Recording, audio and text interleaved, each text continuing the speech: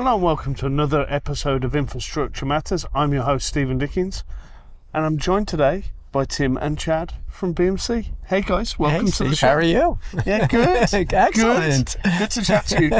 We're diving straight into it today. Mm-hmm. We're talking about operational resilience, kind of from a hybrid cloud perspective, which I Right. think is going to be really interesting. So maybe get us away, Tim. Frame up what we're talking about and sort of give us some context for the listeners and Sure. the viewers here. So, um, an interesting development from the last couple of years is that cloud storage, especially, has really skyrocketed. And, and when we say cloud storage, we mean object storage that's either on premise, so regular storage arrays that have a object interface, or storage that's at a hyperscaler, like an mm-hmm. AWS and Azure and so on and so forth. What's interesting is by tapping into that space, it really empowers the mainframe to be able to have a very scalable storage pool, very flexible, and it really opens up some really new vistas for that mainframe storage that they've never been able to experience before. And it tackles some of those thorny problems in data protection and resiliency that are let's say difficult to deal with, with from a legacy perspective with tape and, and VTLs and so on. So can you elaborate and take us maybe that next level down, Chad? Sure, sure. How are people operationally deploying this object storage based kind of approach to mainframe data? So the problem is when you store your data on the mainframe, it is potentially a- attackable, right? If that's a word, right? So if Mm-hmm. We're gonna allow it. We're We're, gonna allow allow it. it. All right. So ransomware, cyber attacks are attacking your mainframe. It could take any any sort of uh, action, deleting data sets, encrypting data sets. So if we can store them out on this out on the cloud in object storage, it is not on the mainframe. So even if they attack your mainframe and take down your your storage, it is separated. We call it immutable. It can be accessed either from a whole new system or from the system once we recover it. So that gives us flexibility. Mm-hmm. It gives us the security. It helps from an availability posture point of view. Starting to see some of those things come through with DORA regulations, particularly in Europe. Mm-hmm. Are you starting to see that factor into the conversation? So we're getting pulled in a lot out in EMEA. Uh, a lot of the banks, a lot of the insurance companies out there, because they're pushed by DORA to say, what happens if your mainframe's attacked? What is your plan? And everyone has a plan, but do they take it to that level, right? So there's always those what if questions. What if someone does this? What if someone does that? Having that data separated out and backed up out on object storage where it is protected, it's encrypted, it gives you that capability to recover. And Tim, you're, I know you from chatting off camera, you spend a lot of time chatting to customers. What are some of those challenges as they try and deploy this model?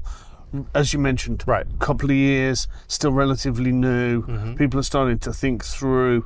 They see the re- the regulations come through. They start to see, hey, if we can get this d- data up onto the public cloud, we may be able to connect it to an AI or a mo- pu- more public cloud-based service. It's not just Right. um, from an uh, availability point of view. Mm-hmm. But what are some of those challenges? So that's where the things that we're doing and being able to provide the simple connection. of mm-hmm. If you look at other vendors in this space, a lot of times what they're doing is they're grafting on a single module to their already existing strategy. So because they don't want to lose what they already have built with that customer. What we're doing is saying, you know what, let's take a fresh sheet of paper. And what we've built is a started task that runs on the mainframe that allows you to use zIIP engine MIPS as opposed to your regular MIPS. That's so you non-billable. That's nice.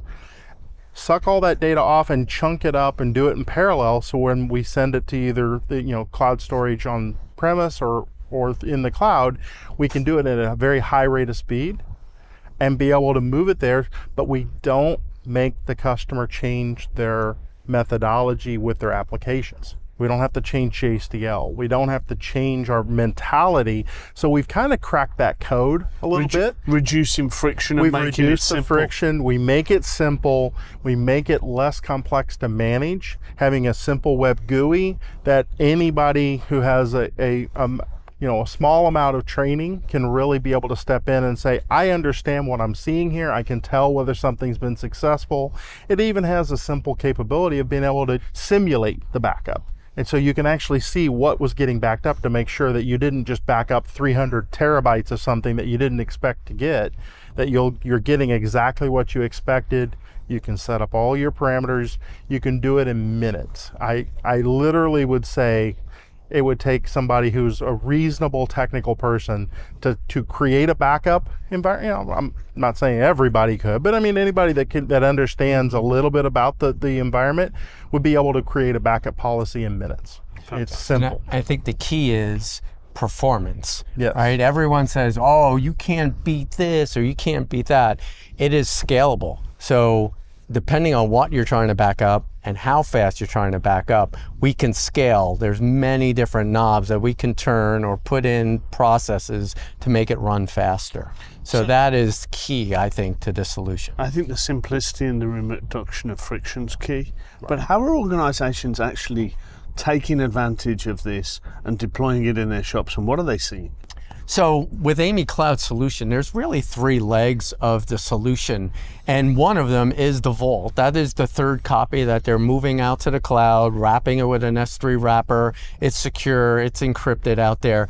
But there's two other parts. And one part that's uh, important is the AMI data. And that's where we're replacing some old legacy software that customers are utilizing that's slow, it's expensive, it's expensive to run. With the AMI Cloud, we can do it a lot faster, a lot cheaper, um, and uh, provide that cost savings, not only in, in VTL, but also in, in processing. And what are you seeing, Tim? And that and that third leg, I think, is what's interesting about that is such a value driver for organizations because you can make all that investment in building a data protection strategy, a ransomware strategy, or whatever you want to call it, and do a great job with it. You know, traditional approaches work. There, mm-hmm. There's a reason they've been around for 40, 50 years because they work. But what it doesn't do is it, it's a a little bit of a dead end when you think about what else can you do with that data. And that's what I think cloud opens up entirely new vistas with. Because when you put it into the cloud, now that data is sitting there at a spot that it's we apply our third leg to that with analytics and we can pull that data back out in a format that you can then apply in your data scientist um, place 80% of a, a business's critical information lives on the mainframe. And it's always been a struggle. It's always been difficult to take advantage and really use that investment in the data scientist world. They have to build, I mean, entire companies have been built around ETL and being able to spend a lot of money to get that data out, but it costs a lot of MIPS, it costs a lot of money to do that. It's another system you got to put it back into your data protection strategy and everything else. It's really complex the promise of what we do with AMI Cloud here with that third leg is the ability to take that investment and get another use out of it, which is great. And especially simple. in the era of AI, where people are looking to harness the yes. corpus of data and do something with it to drive the business and forward. the data is closer to those applications. For sure. It's already moved there for one reason or another. Right. It's closer. Yeah. It's if you available. want to leverage the cutting edge generative AI technologies, they're going to live on the cloud. Typically, right. how do you get the data close to those services? Right. Yep. Well, guys, this has been a fantastic discussion. Thank you so much for joining Thanks. us. Thank Thanks for, for having us, Steve. You've been watching another episode of the Infrastructure Matters podcast. Please click and subscribe, and we'll see you on the next episode. Thanks so much for watching.